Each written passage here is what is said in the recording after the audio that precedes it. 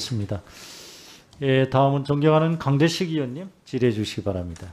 예, 유가족이 슬픈 애도의 뜻을 포합니다. 장관께서는 언제 첫 보고를 받았습니까?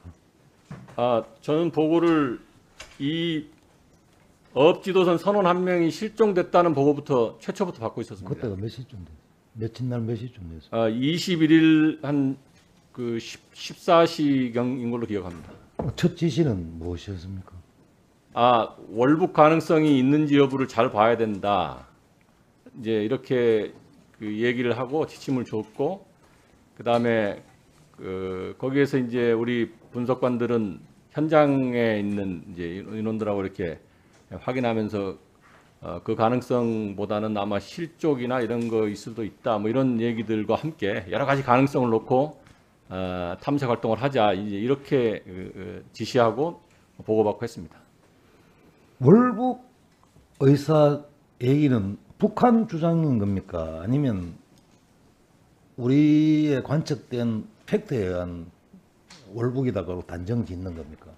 지금 이제 아까 작전본부장이 이제 보고 드릴 때 이제 있었던 그 보고 내용에 이제 일부 포함되어 있지만 이 월북이라고 하는 것이 이제 우선 아, 자세한 설명은 비공개 때 보고를 드리겠지만 구명조끼를 이 선에서 근무하는 인원들이 구명조끼를 입지 않는데 이 사람이 입고 있었다.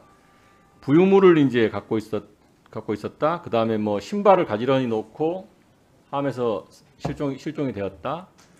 그리고 이제 한 가지는 이제 그 월북 의사가 있었던 걸로 보여진다는 이제 정보를 종합해서 이렇게 보고를 드리는 겁니다. 그 다음에 그러면 경위가 무엇인가 이런 부분에 대해서 하나의 가정을 해봤을 때 예, 예를 들어 가지고 표류대가 갔었다. 예, 이래 갔었을 때 북으로 갔다면 살기 위해서라도 그냥 월북 의사를 이렇게 밝힐 수도 있었을 거 아닙니까?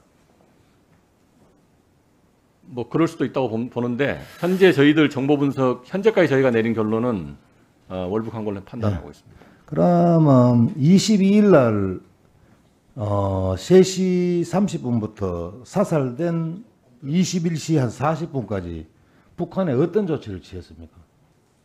우리 우리 측에서는 우리는 북한의 조치를 취- 취한 건 아니고 우리 자체적으로 첩보를 계속 확인하고 하는 음, 조치를 해 나갔습니다. 아니 사살된 어떤 그런 정황이 완전히 포착이 되었다 하면 어떻게 우리가 행위를 행위가 그 그에 대한 행위가 있어야 되지 않습니까? 아, 북한의 해역에서 있었던 일들을 저희가 첩보 수준으로 어, 행위를 하기에는 좀 제한이 있다는 걸 말씀드립니다. 그래 아직까지 북측에서는 답이 없다 이 말이죠. 예, 그렇습니다. 이게 북한이 한 만행은 제가 봤을 때는 427 판문점 선언을 위반한 것일 뿐만 아니라 그 후속 조치인 919 군사 합의도 위반했다고 생각하는데 장관 어떻게 생각하십니까? 그래서 의원님 제가 여기 들어오기 전에 조문을 쭉 전부 한 번씩 쭉 살펴봤는데 아, 조문 그 조항에 정확하게 부합되는 건 아니지만 그 의원님 말씀하신 대로 9.19 군사합의냐 합의의 정신에 위배된다 이렇게 평가를 하고 있습니다.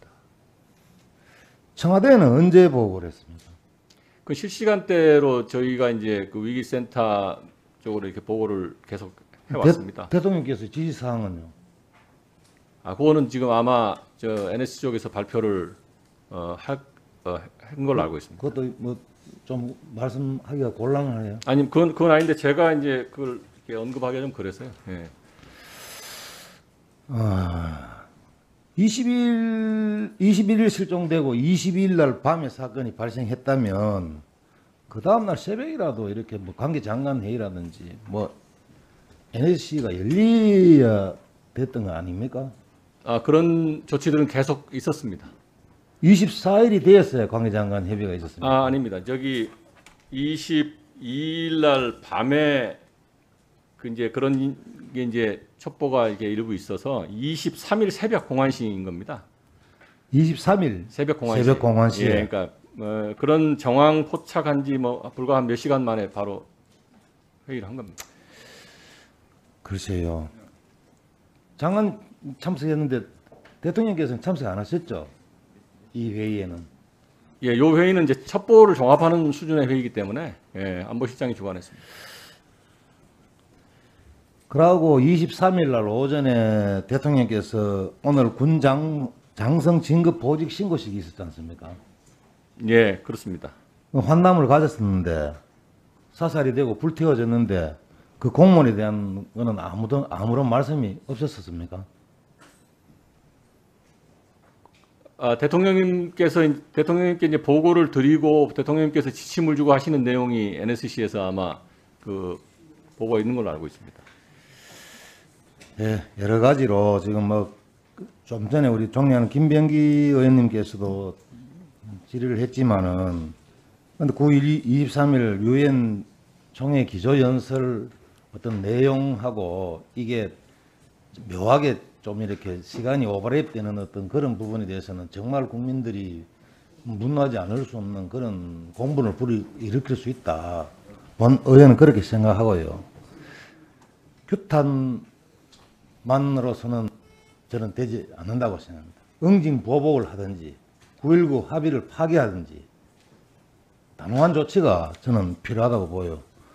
국민을 대표하는 국회의원으로서 또 국방위원으로서 우리 국민을 국민의 북한의 만행에서 보호하지 못해 진심으로 사과의 말씀드립니다.